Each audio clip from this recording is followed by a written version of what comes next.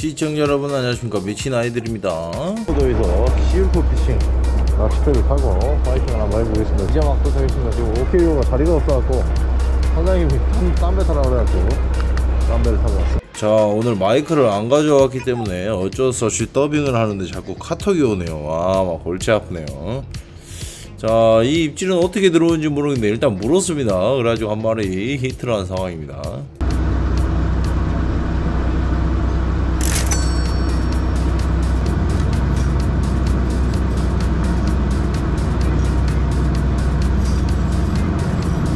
자 지금 들어온 입질은 어, 아마 falling bite로 추정이 됩니다. 어, 자, 제 기억은 안 나는데 아마 좀 뭔가 이상함을 느끼고 바로 챔질을 해서 hooking까지 이어져서 제 조황에 어, 한 마리 추가했던 상황으로 기억을 하고 있습니다. 아 오늘 스타트 좋습니다.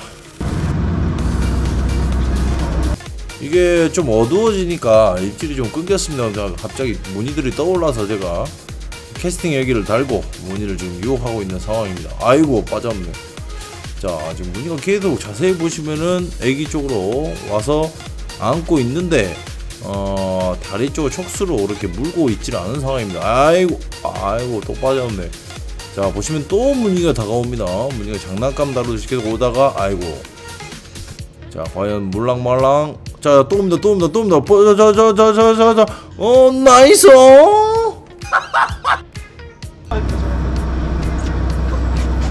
배에서는 제가 조용히 낚시만 했기 때문에 어, 이렇게 더빙으로 인사드리는 점 죄송하게 생각합니다.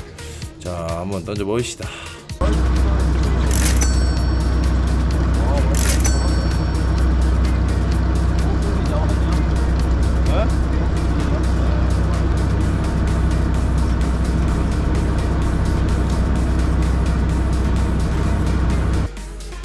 자 이번 입질은 초리대로 살짝 바닥 찍고 쇼킹 후에 초리대 살짝 들어올리는 입질을 되었습니다. 자 아주 깔끔하게 입질 현장이 목격이 됐고 아주 잔잔한 파도에서 어, 손맛을 볼 수가 있었습니다. 아주 아주 좋았습니다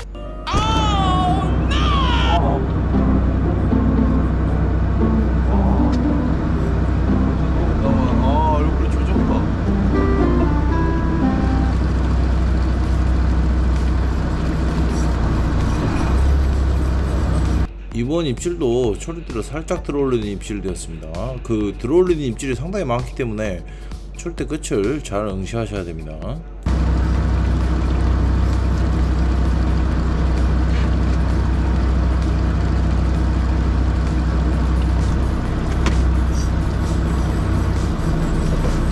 자 이번 입질은 너울 속에 초리대에서 좀 인물감을 느껴서 인물감을 느껴서 챔질을 해서 후킹까지 성공하는 낚시였습니다.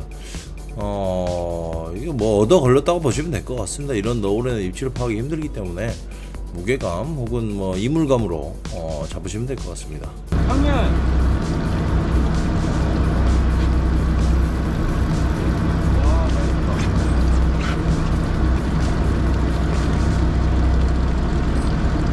어, 이번 입질은 폴링 화이트입니다. 너울이 너무 심했기 때문에 제가 고기인지 아닌지도 잘 몰랐습니다. 제가.